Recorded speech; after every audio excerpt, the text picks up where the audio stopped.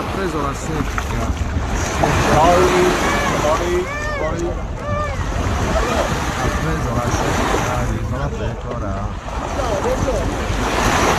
porca no, fra hai visto fra?